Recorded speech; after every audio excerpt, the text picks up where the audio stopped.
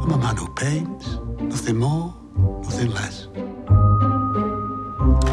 Is that you, Laurie? Who else would it be? You could have been a burglar. Burglars don't have their own front door key. How was your day, Mother?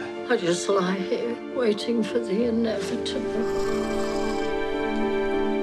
Oh, Today, I saw a woman. She had a beard. Is that legal? I found her rather beautiful.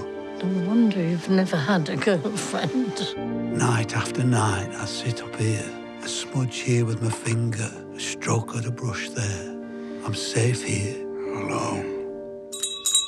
I'm coming! There's a beauty in everything. A man just has to open his eyes and look. Ivory black, vermilion, Prussian blue.